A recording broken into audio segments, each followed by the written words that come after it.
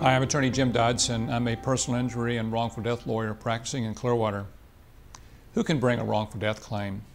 Um, in Florida, we have a law which we call the Florida Wrongful Death Act. And in that law, the legislature has described very specifically who has the right to bring a claim and to recover the damages or losses that they have uh, suffered as a result of their loved one.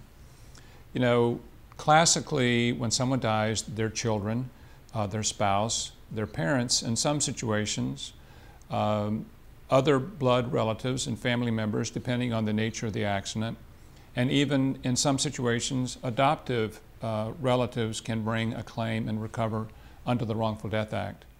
Uh, determining who can recover and, and, what they can recover in Florida is very specific, and it's one of those areas that uh, I would urge you, if you're part of the family going through this uh, terrible process, to consult with a lawyer at the earliest opportunity because this is an area that really does uh, lend itself to getting very specific advice from a lawyer who's familiar with it, you feel comfortable working with, and can explain and guide you through this very uh, detailed process.